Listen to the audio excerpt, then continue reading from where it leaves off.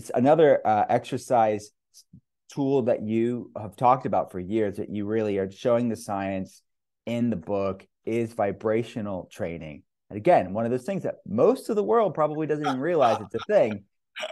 So what's up? Yeah. All right. Whole body vibration is the most ridiculous idea. And the science is really compelling and has been for 30 years. To the point astronauts do it when they come back from going to space to rebuild their bones. And I've been doing this for 15 years personally, and I tell the story in the book.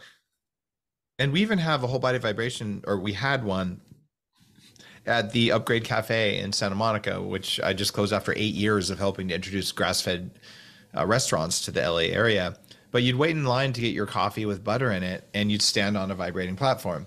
And go what do you mean vibrating platform? Just like that. It's a big heavy platform that vibrates about 30 times a second and you feel it in your bones but it talks to your cells and it makes your body stronger and it makes tissues move in ways that wouldn't normally happen you spend five minutes standing on a vibration plate you don't need to do the 20 minutes of walking every day you still should go for a walk it's good for you but if you stretch on it or you lift on it because it's vibrating 30 times a second. When you do that curl, your body thinks that you did 30 curls because the weight keeps doing this, right?